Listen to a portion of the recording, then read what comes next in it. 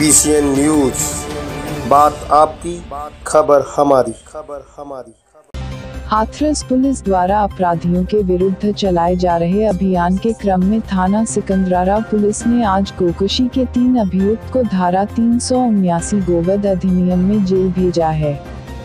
शहादत पुत्र सुहा इस्ताक उर्फ़ कल्लू पुत्र पप्पू, शाहरुख पुत्र जलाल आदि सभी निवासी सोरो गेट नगर थाना सिकंदरारा को गिरफ़्तार किया तब था कब्जे से कुल्हाड़ी और रस्सी बरामद हुई।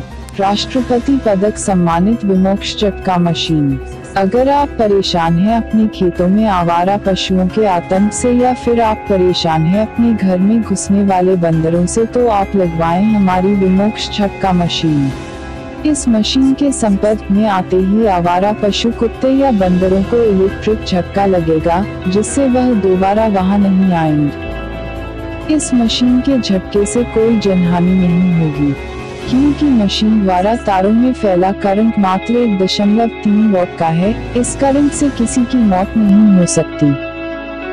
मेरा नाम अतुल दीक्षित मैं गाँव कलवारी का रहने वाला हूँ। मैं एक किसान हूँ। ये सोलर फेंसिंग की लाइन जब से मैंने लगवाई है आवारा पशुओं का आना जाना बंद हो गया है।